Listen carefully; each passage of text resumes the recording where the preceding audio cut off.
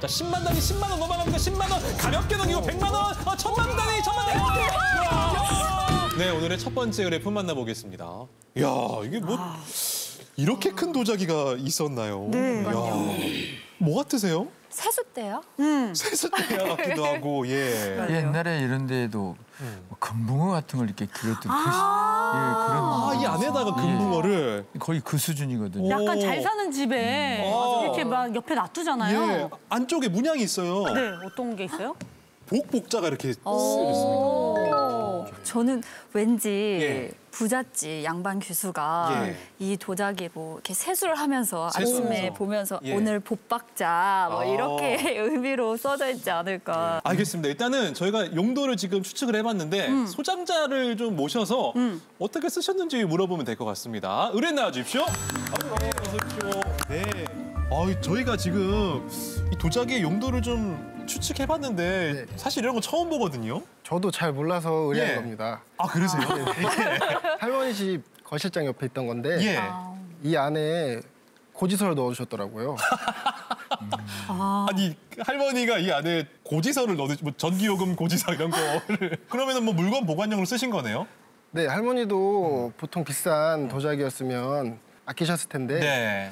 이렇게 사용한 걸 보면 예. 비싼 건 아닌 것 같아요. 아, 알겠습니다. 저희도 굉장히 궁금해지거든요. 일단 자리를 편안하게 모시도록 하겠습니다. 그러면 여기서 이 그릇의 용도에 대해서 깜짝 인형 퀴즈 드리겠습니다. 예, 과연 아, 이 도자기는 네. 어떠한 용도로 사용했는지가 첫 번째 인형 퀴즈입니다.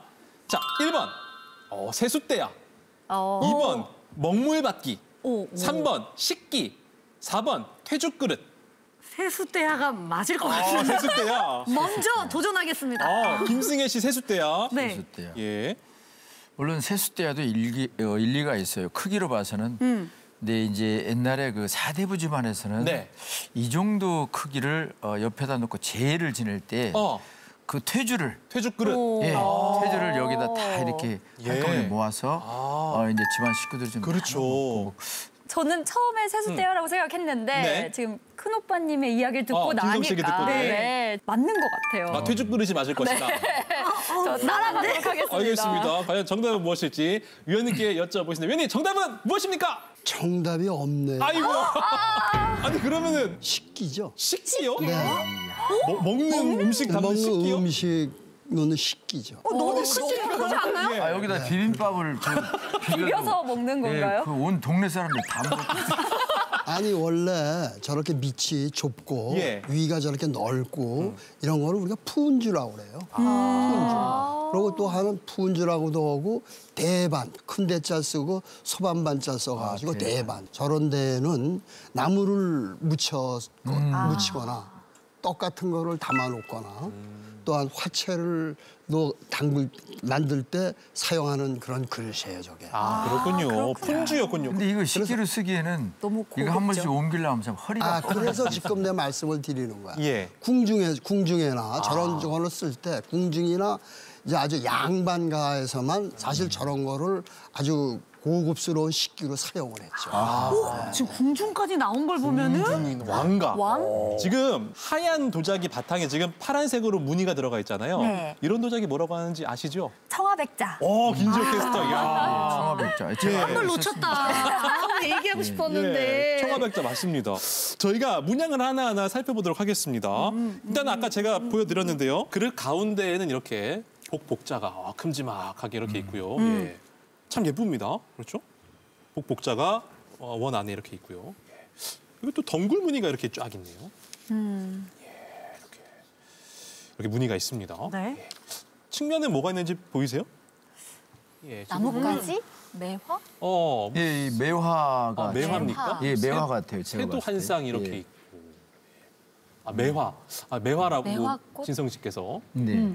하여튼 뭐 제 추측은 그래요. 예 매화 같기도 하고요. 네. 이쪽에는 이거 뭡니까? 뭐 대나무 예. 잎사귀 같은. 예. 아 대나무. 그러니까 사군자가 이군자가 일단 있네요 여기. 사군자. 아 사군자가 아니고 예, 이군자. 이군자. 예. 그거 뭐 인형 하나 안 주나요? 아, 이군자는 인정 못 드립니다. 예. 인형이 오, 지금 하여튼 문양이 어, 큼지막하게 시원시원하게 잘 들어가 있는데요. 위원님께 하나하나 여쭤보죠. 위원님 지금 이 문양의 문양을 보면 특히나 새 한 쌍이 눈에 띄거든요. 아, 그 새 예. 까치 같습니다. 아. 꼬리가 긴 게. 까치죠. 네. 까치는 기쁜 소식을 전하죠. 네, 그래서 까치가 매화나무에 앉아 있는 게 보이죠. 매화하면은 봄을 알리죠.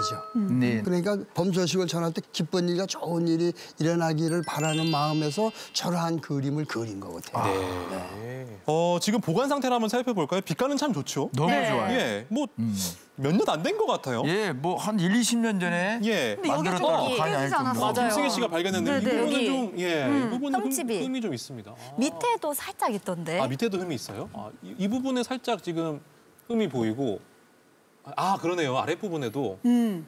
아, 살짝 흠이 있습니다. 근데 세월이 가면 뭐 이런 잔, 예. 예. 이런 상처쯤이야 뭐 사실 더 오래된 것 같은 이런 또 느낌도 느낄 수가 있고. 그렇죠. 뭐 예, 자연스러운 현상 아니겠어요? 나름 매력이 있는 거죠. 어쨌든 진성 씨께서는 이거 어, 몇년 안 돼 보인다는 말씀이신 거죠? 어, 언뜻 보기는 그런데 예. 이제 도색이나 이런 걸 봐서 그런데 예. 전체적인 분위기를 봤을 때는 일단 그 품위가 있어 보이니까 어. 예, 세월의 나이는 일단 좀 들어 대충 보여요. 어느 정도인지 혹시 짐작이 가세요? 한 조선 중기 정도 될 것 같은데요. 조선 중기면 예, 뭐 이제 한, 한 250년, 300년 오, 됐겠죠. 300년 예. 그래요? 예. 그래요? 굉장히 품위가 있어요. 예, 아. 그- 요거 맞으면 인형 드릴게요. 300년 정도 된 거다. 위원님 한 300년쯤 됐습니까? 정확히 뭐 아, 맞추시겠어요? 저거는 400년? 중기가 아니죠.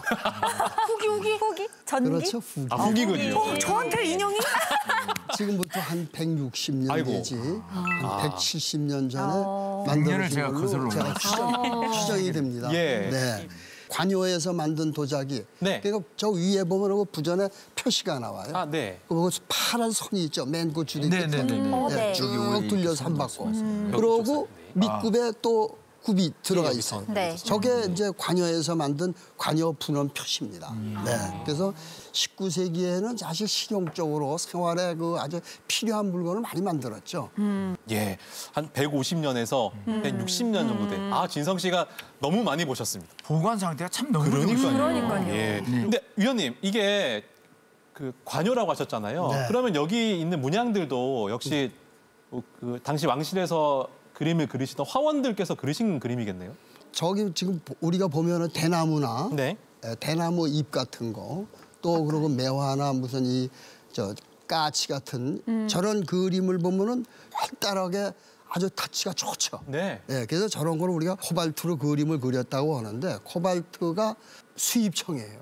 수입청을 코발트라고 그래. 그걸로 사실 그림을 저렇게 잘 그렸습니다. 또 그림에 보면은 농담이 참 좋죠. 진하고 진하고 이렇게 이렇게 저러한 그림은 화원이 나와서 그리기 때문에 저렇게 수준이 좋습니다. 그림이. 마지막으로 궁금증 해결할 수 있는 60초 최종 감정의 시간 딱 60초만 드립니다. 어, 품주라는 식기가 아직도 많이 남아 있나요? 네. 적은 것은 저거보다 저건 아주 크죠. 그러니까 적은 것은 덜어 보이는데 저렇게 큰 거는 상당히 귀하죠. 아 이렇게 큰 건 귀하다. 이렇게 큰 건 귀하다. 네. 그러고 귀하다고 하면은 사실 저게 고려 때서부터 나왔어요 물론. 예. 고려 때에는 조금 이렇게 올라가다 위에서 약간 말립니다. 그런 게 대부분인데 예, 같은 예, 네네. 예. 이 푼지와 일반 식기와의 가치가 어떻게 더 가치가 높은가요? 어떻게 우리가 조화롭게 문양이나 형태나 이런 게 잘 만들어졌냐에 따라서 평가를 하게 되죠. 예. 어우 여기까지입니다. 네. 자 이제 마음을 결정하시고 추천 감정가 써주시기 바랍니다. 와, 1억까지는 가지 않겠지? 왕실에서 썼던 거고. 와, 아니 왕실에서 쓴 거나 쓴 아, 걸 수도 있고 쓴걸 아, 수도 어, 있고. 확실하진 않기 때문에. 약간 고가품인 것만은 확실한데 네, 쇼감정단 세 분의 추정 감정가 확인해 보겠습니다. 김승혜 씨 1,500만 원, 진성 씨 3천만 원, 김지효 씨도 3천만 원. 오. 청화백자가 제가 보통 이게 진품명품에 나왔던 청화백자들이 가격이 높더라고요. 예. 그래서 어, 높지만 그래도 시기가 한 아하. 150년 정도 예. 됐으니까 어. 요 정도 가격이지 않을까. 예, 오 알겠습니다. 한 1억 정도 사실 최하 어. 5천만 원 이상을 적으려고 그랬는데 네. 어, 요즘에는 아주 고가품 뭐 1억, 2억 되는 이런 물품들이 잘 안 나오시더라고요. 그래서 너무 오버하면 안 될 것 같아요. 예. 네, 3천만 원 정도는 충분히 값어치가 있다. 예, 알겠습니다. 과연 의뢰인께서는 얼마를 희망하시는지 보겠습니다. 어이, 아 이럴 수가. 왜 그러셨어요? 아, 10만 원 쓰셨네요. 예. 아, 네. 할머니가 네. 고지서 수납용으로 사용하셨는데 그렇게 크게 값어치가 있을 것 같지는 않아갖고 예. 네 그렇게 적었습니다. 아니 그 뭐 집안 사정이니까 제가 별 말씀 않겠습니다만 예. 야, 저 정도 가격이랑 그럼 동네 그냥 고물상에서 한 돈, 돈만 원 주고 이렇게 할머니께서 사오신 걸로 이렇게 지금 착각하고 계신 예. 건데. 자, 과연 오늘의 첫 번째 의뢰품 청화백자 푼주는 얼마의 감정가가 나올지 지금 바로 공개합니다. 궁중이나 양반가에서 음식을 만들거나 담을 때 사용했던 식기 푼주의 추정 감정가 확인해 보겠습니다. 자, 10만 단위 10만 원 넘어갑니까? 10만 원 가볍게 넘기고 100만 원, 어, 천만 단위, 천만 단위. 와! 야! 진성 씨와 김은재 캐스터 정확하게 맞췄습니다. 와. 사실 도자기에 저렇게 큰 게 귀합니다. 그리고 또 그림도 역시 화원이 그려갖고 이 아주 필력이 대단해요. 과감하게 필력을 쳤죠. 거기다가 보존 상태를 아까 누가 뭐 말씀하셨어요. 조금 깨진 거. 저렇게 큰- 뭐든지 큰 물건에는 고미술도 조금 깨진 거는 별 흠이 안 됩니다. 거기다가 네. 상당히 귀한 거예요. 그래서 제가 희소성을 봐서 사실 평가를 이렇게 했습니다. 예, 아까 의뢰인의 할머니께서 고지서를 담았다고 하셨는데 이제는 고지서 담으시면 안 될 것 같은데요? 네 말씀 잘 드려서 보관 잘 해야 될 것 같습니다. 예, 고맙습니다.